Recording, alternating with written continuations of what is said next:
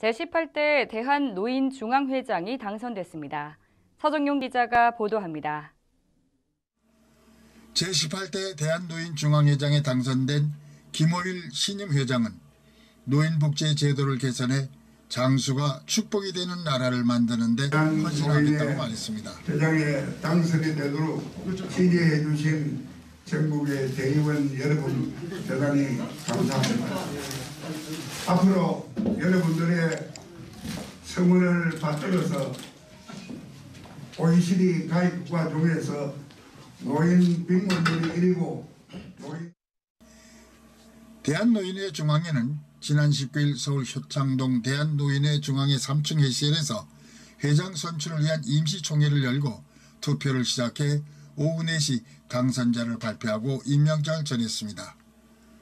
김호일 당선자는 참석 대의원 272명 가운데 129표를 얻어 4명의 후보를 누르고 제18대 대한노인회장에 당선되자마자 중앙회장 직무에 들어갔습니다.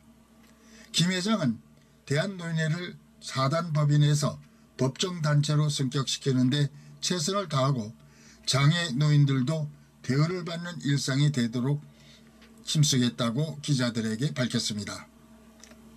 기초수급자에게만 해당이 되는데 기초수급자가 아니라 하더라도 어떤 사람이 주택을 가지고 있는데 다른 소득이 할수 없으면 자기가 매월 벌이가 없잖아요. 그런데 주택 가진 사람은 국가에서 재산세도 내고 하는데도 불구하고 전혀 배려를 안 하는 것은 말이 안 됩니다. 그래서 앞으로는 어, 기초수급자뿐만 아니라 모든 노인들에게 30만 원 정도는 최소한으로 주어지는 그런 일들을 하는데 국가가 부담이 될 것 같아서 제가 소일 노인 사원 제도를 앞으로 국가에 제의를 하려고 합니다.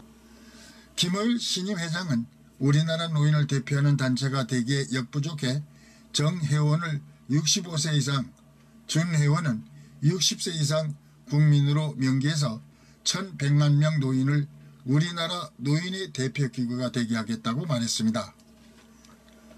한편 제18대 대한노인회장 선거에 참여한 노인들은 실망을 주는 노인회장이 많았다고 지적하고 공약 내용들을 실천하기를 기대했습니다.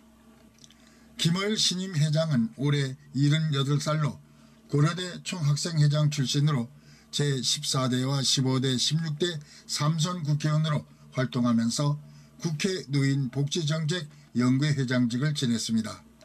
이어서 대한노인회 중앙회 고문과 서울연합회 명예총장직을 맡는 등 노인 복지 정책을 현장에서 체험한 능력자로 평가를 받고 있습니다. 복지TV 뉴스 서정영입니다.